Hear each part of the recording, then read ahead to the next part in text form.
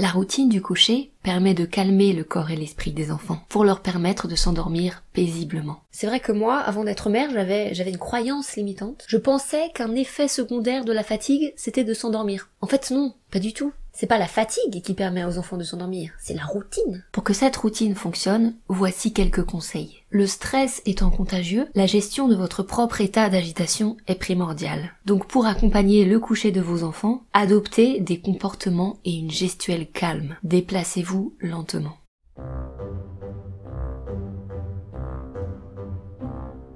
Prenez une voix relaxante et apaisante, plus douce, plus grave. On va se laver les dents, mon amour. Vous pouvez même utiliser des techniques de visualisation pour incarner ce calme apaisant d'avant le coucher. Par exemple, vous pouvez imaginer que vous êtes entouré d'une aura de sérénité. Ok, une aura de sérénité. Je vois le truc. Instaurer des petits rituels. Des rituels comme, euh, comme des sortes d'incantations. Comme dans Harry Potter. Faut que faut que j'investisse dans une baguette magique. Ça me dérange pas d'y mettre un peu d'argent. J'ai déjà investi dans une peluche qui ronronne, dans une lumière qui projette des étoiles et la lune sur le plafond, dans une couverture avec des billes en polymère sans BPA dedans, une technologie révolutionnaire pour que l'enfant se sente en sécurité. Je veux bien investir dans une baguette, mais moi je suis une moldue, je ne connais pas les rituels et les incantations d'endormissement. Voici quelques exemples de rituels possibles. Ah, chanter des berceuses. Wingardium. Lire des histoires. Hector n'est pas un castor. D'une voix calme et apaisante. Ah oui. Hector n'est pas un castor. Pendant la lecture, vous pouvez même bailler pour opérer un effet de contagion.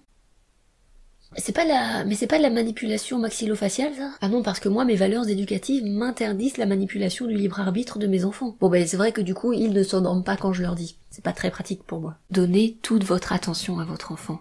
Ne soyez pas distrait la tête ailleurs. Profitez de cette routine du coucher pour exprimer toute votre tendresse. Je t'aime.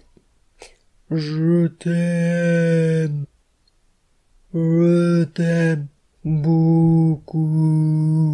Évitez de manger juste avant de dormir. Espacez d'au moins une heure ou deux la fin du repas et le moment du coucher. Hmm? Non?